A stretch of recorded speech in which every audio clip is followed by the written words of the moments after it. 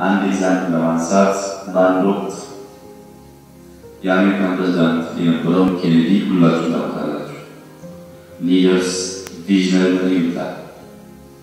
በሆነ ጊዜ ራሻ ከአሜሪካ ቀድማ የኑክሌር ጥናት ጀምራ ነበር። ይሄ ጥናት successful የመሆኑ አዝማሚያ ሲያሳይ ኬኔዲ ያመዋል። ታላቁ አሜሪካ የታላቁ ሀገር መሪ በመቀደም ያዝናል እና ወደ ናሳ ይሄዳልና ይሄድና የሰበሰባቸው እና እዚያ ያሉ ሰዎች we have to put a man on the moon and bring him back safely ይላቸዋል። ሲላቸው በቀላሉ ነበር ያላቸው። ሰው ወደ ጨረቃ ልከን መልሰን ደግሞ ወደ ምድር እናመጣዋለን አላቸው። እዛ ያሉ ምሁራን ሙያተኞች ሰው ወደ ጨረቃ መላክ ቀላል ስራ multi discipline የሚጠይቅ አስቸጋሪ ስራ። በቀላሉ ሰው ልኮ ማምጣት አይቻልም ይሉታል።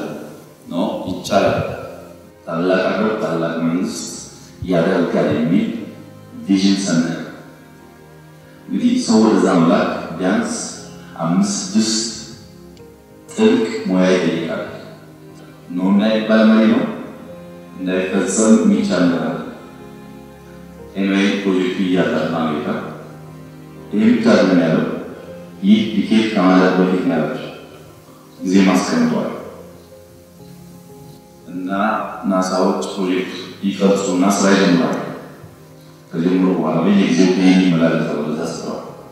በአንድ ወቅት ሲሄድ አንድ ሰው ስርዓት እያሰዳ ያገኘው ስርዓት እያሰዳ ሲያገኘው ምን እያደረግክ ነው ያለው ይለዋል I'm helping to put a man on the ይመስለታል። እያጸዳው ነው አለ። ወደ ማርስ አሜሪካ የምትልከውን ሰው ለማሳካት እያገዝኩ ነው የሚል መልስ መለሰለት። ይህ በጣም አስተማሪ መልስ ነው።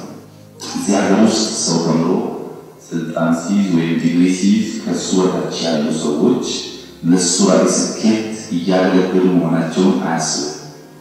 ኢንሳ እንደዛ አይነት አስተሳሰብ እንዲሰበር ይፈልጋል።